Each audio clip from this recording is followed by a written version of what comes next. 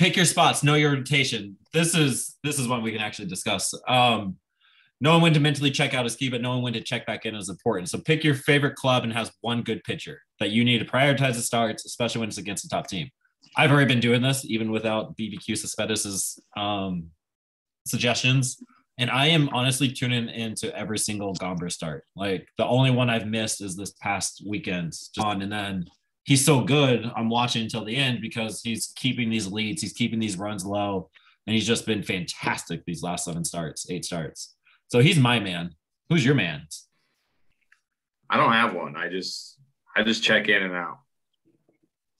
It's definitely Gomber for me. Like I don't I don't know what it is about him. I just kind of the way he carries himself, but he's just kind of won me over, and I'm kind of a big Gomber fan now. Obviously Marquez too.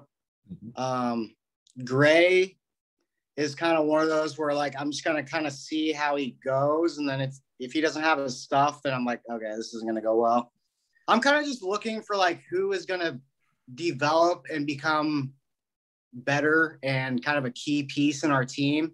But Gomber's part of this future. Like I yeah, there's no way he's being traded within the month and a half. Hey, like I, am not joking. Like I love watching Chacín pitch. Like even though he's what like a, got like a plus six ERA this year, but like you can tell that he wants to win and like yeah. he cares. Thank you for tuning in. Find more content at BlakeStreetBanter.com.